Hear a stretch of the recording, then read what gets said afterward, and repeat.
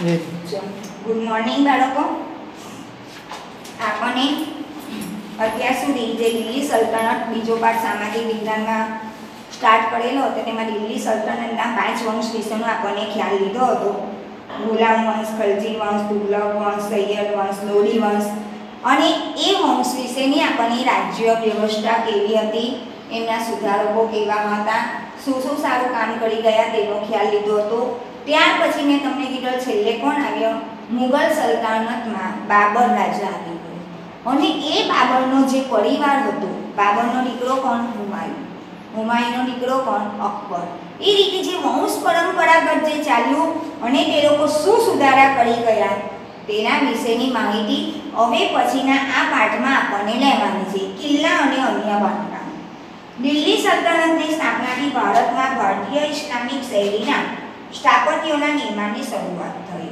દિલ્હી સલ્તનત સમયગાળા દરમિયાન કિલ્લાઓ, મસ્જિદો, મકબરા, મકાનો, બગીચા, દરવાજા, મિનારાઓ આ બધી કૃતિઓ જે તૈયાર થઈ તે આ કોના સમયમાં થઈ? મુઘલ સલ્તનતના સમયમાં. કુતુબુદ્દીન એબકના સમયમાં દિલ્હીમાં કુવત ઉલ ઇસ્લામ નામની એક મસ્જિદનું નિર્માણ થયું હતું. ઐબકે બંધાવેલ બીજી મહત્વની ઇમારત કઈ છે? કુતુબ મિનાર આજે પણ દિલ્હીમાં છે. કુતુબુદ્દીન સમયમાં તેનો એક જ માળ બાંધી શક્યો હતો. તેના અવસાન બાદ બાકીનું નામ કોએ કામ જે હતું તે કોએ પૂરું કરાવ્યું ઇલ્તુમિસે એનો જમય જે આવેલો ને ઇલ્તુમિસ તે. ફિરોઝના તુગલક અને સિકંદર લોરીએ તેનો જીર્ણોદ્વાર જીર્ણોદ્વાર એટલે એના પર જે કોતરણી કરાવે તે. કુતુબુદ્દીન એબક, નેમી, અન્ય એક ઇમારત ભાઈ દિનકા ઝોપડા નામની મસ્જિદ આજે પણ ત્યાં છે. એ ક્યાં આવેલી છે અજમેરમાં છે. ઇલ્તુમિસના સમયમાં હોજ એ સમ્મી સમ્મી ઈદગાહ અને જુમા મસ્જિદનો સમાવેશ થાય છે. ખલજી વંશ દરમિયાન અલાઉદ્દીન ખલજીએ બંધાવેલ અલાઈ દરવાજા નામનો પ્રવેશ દ્વાર સીરી નામનો કિલ્લો અને સિરી નામનું નગર તથા હોજ એ ખાસનો સમાવેશ થાય છે. તુગલક શાસન દરમિયાન તુગલકાબાદ, ફિરોઝાબાદ, હિસ્સાર, જોનપુર ફિરોજપુર ફતેહાબાદ વગેરે નગરો વસાવવામાં આવ્યા હતા. સમયગાળા દરમિયાન દિલ્હીમાં અનેક કિલ્લાઓ, મસ્જિદો, તળાવો, મહેલો, સ્નાનાગળો, મકબરાઓ પુલો સરાઈઓ, બગીચાઓ આ વગેરેનું નિર્માણ થયું છે. જેમાં બંદેખાનનો ગુંબજ, વડા ગુંબજ, મોટની મસ્જિદ અને સિહાબુદ્દીનનો મકબરો આજે પણ જાણીતા છે. હવે વિજયનગરનું સામ્રાજ્ય. તુગલક વંશના નિર્ભર સુલતાનોના સમય દરમિયાન દિલ્હી સલ્તનતના વિઘટનની પ્રક્રિયાનો પ્રારંભ થયો સૈયદ વંશ અને લોડી વંશ દરમિયાન આ પ્રક્રિયા ઝડપી બની. તૈમૂરના આક્રમણના કારણે પણ સ્થિતિ વધુ વણસી હતી. આ બધી પરિસ્થિતિના કારણે ઉત્તર અને દક્ષિણ ભારતમાં અનેક પ્રદેશો સ્વતંત્ર થયા. જેમાં વિજયનગર બહમની માળવા, મેવાડ, બંગાળ, જૌનપુર વગેરેનો સમાવેશ થાય છે. અહીં આપણે વિજયનગર અને બહમની રાજ્ય વિશે થોડી વાતો કરીએ. તો હરિહરરાય અને બુક્કારાય નામના બે ભાઈઓ હતા. આ બે તુંગભદ્રા નદીના કિનારે વિજયનગરની સ્થાપના કરી. અને આ રાજધાની બનાવી અને તેમનો પાયો ક્યાં નાખ્યો? વિજયનગરનો. શરૂઆતમાં આ નગર તેમના ગુરુસ્વામી વિદ્યાલયના નામ પરથી વિદ્યાનગર તરીકે પહેલા જાણીતું હતું.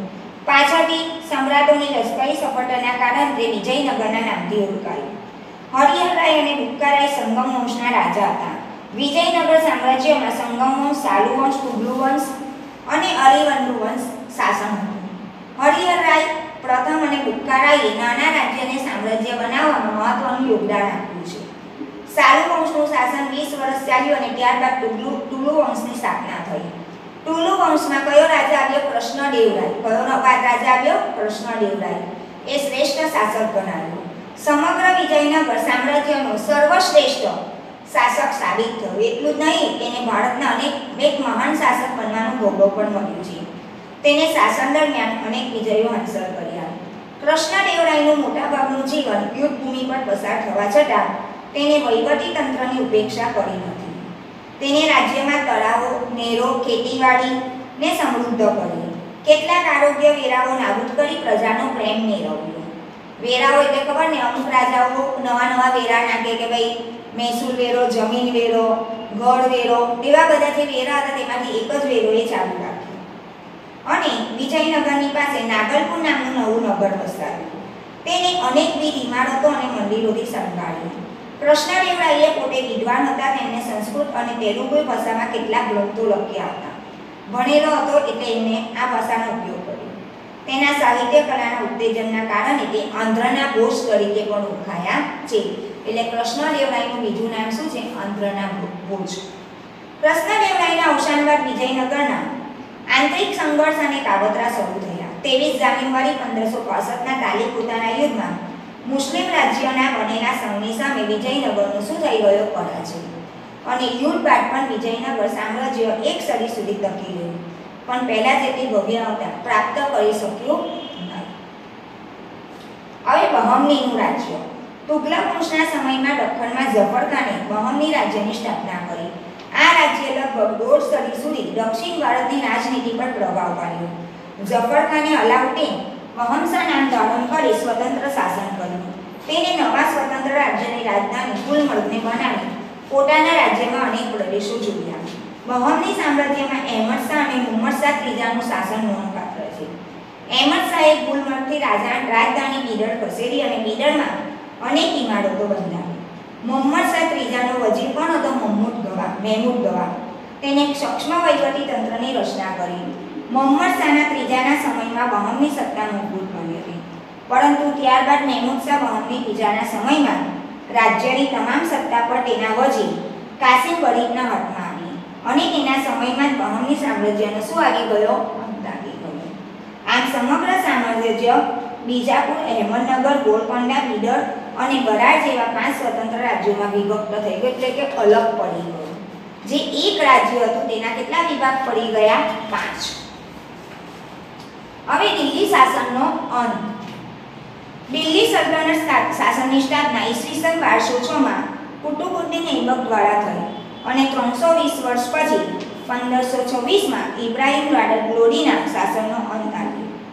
અને આ લગભગ સવા ત્રણસો વર્ષ દરમિયાન યોગ્ય, શક્તિશાળી અને કેટલીક વાર નિર્ભર સુલતાનો પણ ગાળ્યા. દિલ્હીના મુસ્લિમ મહારાજે અનેક તડકી છાંયડી તડકી છાંયડી મીન્સ સુખ અને દુઃખ જોયા અને ઉદય એનો અષ્ટ એ ન્યાયે એનું પતન થયું.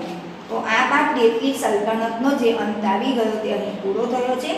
આગળના પાઠમાં હવે મુગલ શાસન વિશેનો આપણને ખ્યાલ